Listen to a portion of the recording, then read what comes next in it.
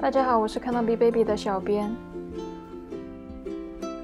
又到了可以推宝宝上街的季节，很多妈妈不知道如何选择一款非常适合自己的推车。我们现在就把几款热销的旅行推车做一下演示和比较。我们以后会陆续制作各种母婴产品的测评，希望可以为妈妈们提供参考。如果喜欢我们的视频，妈妈们可以订阅我们的频道、点赞和转发我们的视频，非常的感谢。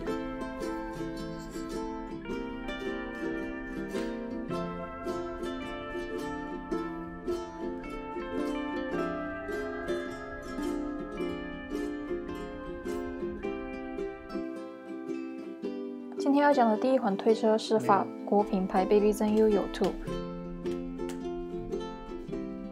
可以看到车的遮阳罩大小非常适中，一键打开孩子的安全绑带。靠背的话有四十五度角倾斜，六个月大的孩子可以直接坐。车折叠非常简便轻便，折叠后的体积非常的小，可以带上飞机。这是一款非常受欢迎的轻便推车，它可以连接到睡篮和安全座椅。刚出生用到两到三岁，有肩带可以背得走。第二款是英国的品牌 Hamilton，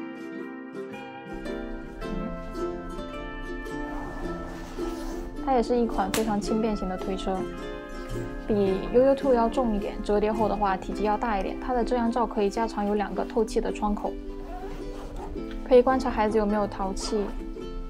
座椅上的把手可以取卸。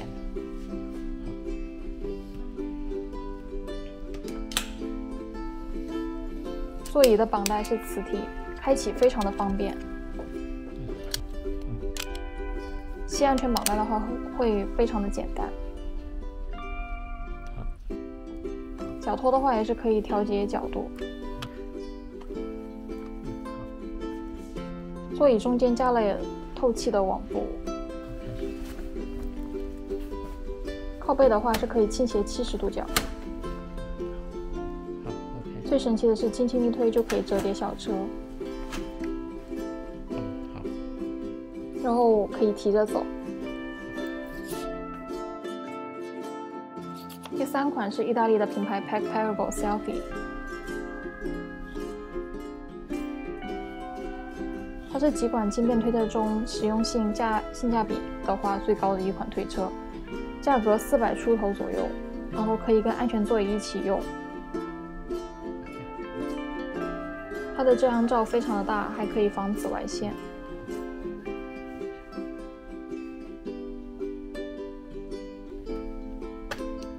减震特别的好，非常适合旅行外出。靠背的话可以倾斜八十度，也是一键打开式的安全绑带。脚托的话也是可以调节。折叠的话是轻轻的一推，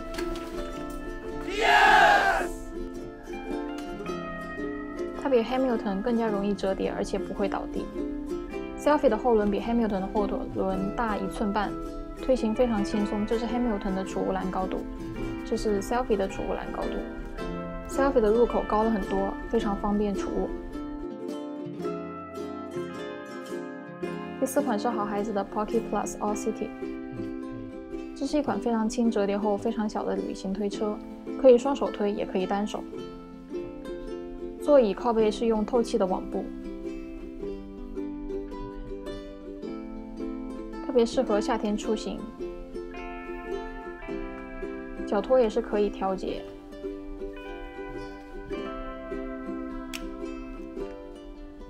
安全绑带也是一键式打开。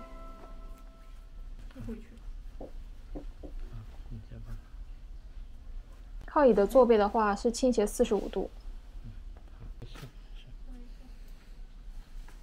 折叠后也是比较简单，折后的体积非常小，可以带上飞机。